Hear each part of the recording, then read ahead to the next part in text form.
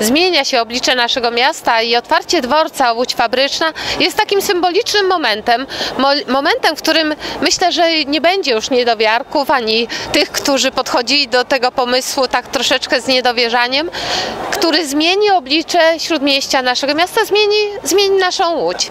Szanowni Państwo, y, w 2011 roku, kiedy zamykaliśmy dworzec Łódź Fabryczna, a później rozpoczynał się proces inwestycyjny, niektórzy pukali się w głowę. Pamiętam stwierdzenia, no tak, tu zostanie jedna wielki jezioro, będziemy mieli po środku, no czy to w ogóle cokolwiek powstanie. W tej chwili, jut, właściwie za tydzień o tej porze, przekonamy się wszyscy naocznie, że to wszystko się stało. To uwiarygodnia całą inwestycję w Łodzi dotyczącą nowego centrum, ale przede wszystkim przywraca nam wiarę i uwiarygadnia nas w oczach całej Polski i świata, że możemy być nowoczesnym, pięknym miastem. Zapraszam na dworzec Łódź-Widzew. 5.23, pociąg ze Skierniewic do Łodzi Fabrycznej. To będzie pierwszy pociąg, który według nowego rozkładu jazdy wjedzie na stację Łódź Fabryczna. Zapraszam Was wszystkich. Druga klasa, bilety są możliwe do zakupu. Jeszcze w tej chwili na pewno są wszędzie. Y, Zapraszam, przejedźmy się wspólnie, zobaczmy jak zmienia się Łódź z perspektywy również i tunelu, którym przejedziemy i stacji. I oczywiście zapraszam wszystkich tych, którzy wolą troszeczkę dłużej pospać. Zapraszamy serdecznie na stację Łódź Fabryczna.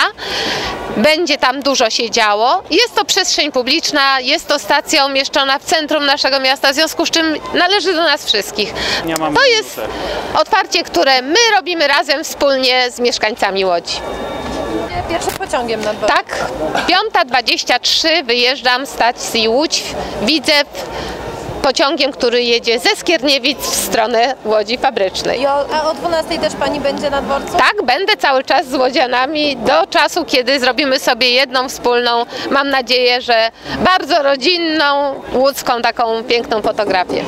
My oficjalnego otwarcia jako takiego nie robimy. Przejeżdżamy się pociągiem. Wszyscy będziemy na stacji, tam będzie szereg atrakcji zapewnionych. I od samego rana taka Tak, jak najbardziej. Ja od samego rana jestem i serwujemy kawę. Proszę, proszę. Państwa, budowa tak naprawdę trwała od 2000 bodajże 8 roku, kiedy był rozpisany przetarg. Rozstrzygnięcie przetargu było bodajże w lipcu 2011. W październiku zamknęliśmy stację.